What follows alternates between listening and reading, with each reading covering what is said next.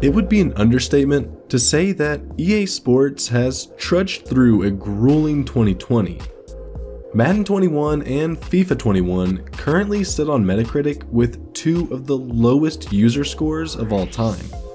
Critics have blasted EA for, maybe more so than any time in the past, releasing what has felt like a carbon copy of the previous edition. And as much as I hate to admit this, it's not hard to argue that overall, the last five years have felt like a frustrating, monotonous blur of roster updates and lighter wallets. So it was probably my fault for thinking that maybe, just maybe, EA Vancouver would break that trend that they would deliver not only the hockey game that I've waited for the NHL franchise to become, but more plainly, a sports title that reinvigorates people's interest in the genre. After all, I quite liked NHL 20. I thought it was the first time in half a decade that the series started to move in the right direction. Yet, as if they're an express train barreling down the tracks, EA has plowed through my expectations, determined to have the most underwhelming year in company history. It's not entirely bad news. NHL 21 certainly sees a few welcomed improvements. But on the ice, where it counts, you'd be hard pressed to notice any tangible difference from NHL 20. I still believe that the NHL series plays better than it ever has. Flying up the ice and splitting the defense, dangling the puck on a string before going backhand top shelf is one of the most gratifying feelings in all of sports games. Creating space for a big one-timer to win a double overtime playoff game is exhilarating. And watching your goaltender stand on his head to bail you out of a 5 on 3 remains heart-wrenching. But it's been this way for longer than I can recall. NHL 20 changed the second to second gameplay by allowing players to pick the puck up without breaking their stride. It was something you immediately felt. It was a step forward. Unfortunately, EA Vancouver stays stuck in place with NHL 21, and the refinements of yesteryear do nothing but leave me with a sense of longing for a more bona fide change. At the heart of EA's hockey simulation is a game that still doesn't feel like, well, hockey. Yes, there are a handful of new ways to score, and little adjustments like being able to chip the puck off the boards are lovely to see.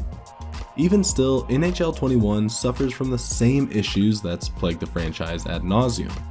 The AI, both teammate and opponent, struggle to respond, for better or for worse, in ways that real hockey players do. Situations like the power play turn out unrealistic, devolving into nothing but a cycle of one-touch passes to avoid an unrelenting rush from a 3 or 4 man penalty kill. This leaves you with next to no time to set your team up. It's bewildering that having a man advantage still doesn't feel as if you're genuinely in a position to score. I suppose that's what happens when AI can flawlessly predict and react to your every move. Setting aside the shortcomings of the On Ice product, though, I can't deny that EA Vancouver is onto something with Be a Pro. For as long as Be a Pro has been an option, it's left fans wanting more. Much of the excitement of being a professional is everything that happens away from your sport. What does your first big contract look like? What type of house are you going to buy? Are sponsors interested in you? What are you doing with all of that money you're making? Finally, Be a Pro allows you to explore all of these questions. Thanks to a complete overhaul, you're now able to connect with your created player like never before. Cutscenes that develop your character permeate your career, and I appreciate that, for the most part, you're giving options on how you would like to respond to situations. Will you be a team player, or the superstar that thinks he can carry the squad on his back? Salary perks will give you temporary attribute boost, and an extensive skill tree is at your disposal to fine tune your pro.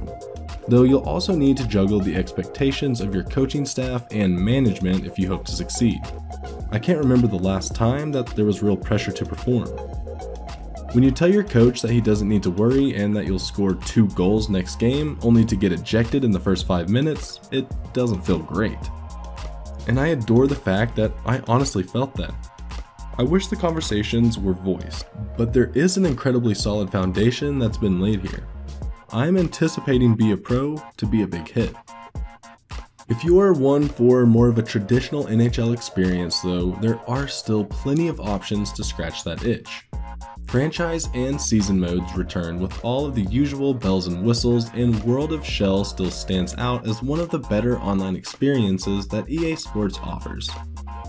Akin to the NBA 2K series, you're able to customize a player from an extensive list of unlockable content as you level up and acquire skill points. Although it is heartbreaking that after months of unlocking gear in NHL 20, I wasn't able to transfer anything to NHL 21, it's tough to be excited about the prospect of investing that time again if it's just going to be lost again next year. Then again, isn't that the same dilemma us sports games fans face every year? The NHL series hasn't drastically changed the formula for 15 years, so why would I expect NHL 21 to be any different? I certainly appreciate that Be a Pro has been fleshed out, but I'd trade it in a heartbeat for a game that looked and felt like an NHL broadcast. I stand by that it plays as well as it ever has. That doesn't necessarily mean it's a proper representation though of the sport. And most of the changes that have been implemented haven't translated in the way I hoped they would. The defense is still sporadic, your teammate AI is still clueless, and goalies still get beat by the same exploit goals. If EA Vancouver ever hopes to stand alongside the giants of the genre, NBA 2K and MLB The Show, they'll need to rethink what simulation hockey really means.